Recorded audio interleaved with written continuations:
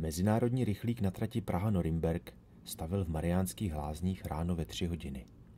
Bylo 6. října roku 1971. Ale toho roku byl začátek října výjimečně chladný. 17-letý Richard Rezner stál na Mariánsko-lázeňském nádraží za kolejemi.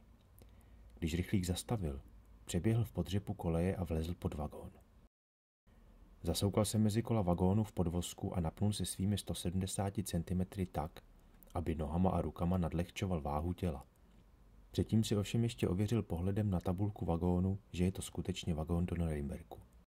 V Chebu totiž poslední čtyři vagóny odpojují a v Chebu také prochází kolem vagónu hlídka pohraniční stráže a nahlíží pod vagón. Když příslušník pohraniční stráže, naštěstí bez služebního psa, nahlédl mezi nápravy, byl Ríša vypnutý jako luk mnohonásobného mistra světa v lukostřelbě Františka Hadaše, žijícího ve svém exilu o pouhých několik kilometrů dál, Mark Derwitz ve Spolkové republice Německo. Tam také mířil Ríša. Tam od srpna 1968 žili Ríšovi rodiče.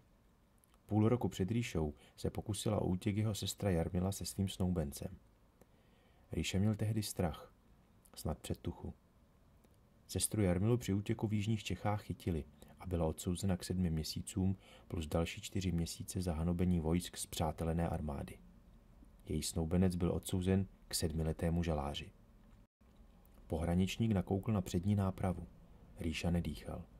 Světlo baterky minulo jeho napnuté tělo jen o fous. Pohraničník obrátil kužel světla k zadní nápravě. Kámen, který spadl Ríšovi ze srdce, narazil na kameny mezi pražci. Naštěstí kameny ze srdce nedělají rámus. Půlhodinová zastávka v Chebu se pro Ríšu měnila v týdny na kříži. Konečně se vlak dal do pohybu. A pokud jen zastávka v Šerdingu. Celý černý od Kolomaze se šel Ríša umít do nádražní umývárny. Bavorská policie ho však zadržela a když bavorští policisté zjistili, oč běží, vzali ho do kanceláře. Pustili mu horkou vodu ve sprše, dali mídlo a vonící černou kávu. Pak dostal deset marek, snídani a ještě než se psali azylový protokol, zatelefonovali Rýšovým rodičům.